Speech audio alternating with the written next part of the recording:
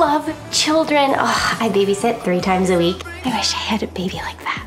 Don't you think that maybe this is a little too soon? This is not about having a man. I want a family. I'm an artist seeking other artists, and ideally, a muse. If you're serious about this, why don't you just adopt? I'd never know exactly what the dad was like. I might know some hereditary details, but I wouldn't know what his interests were or what he was like as a child. We've never had any mental illness in our family. You? Not really. I want to be upfront with you.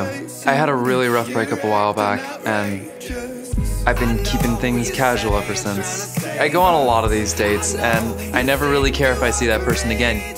Take care, Jacob. But I don't want to be that person anymore. I want it to matter. I just want you to show me who you really are.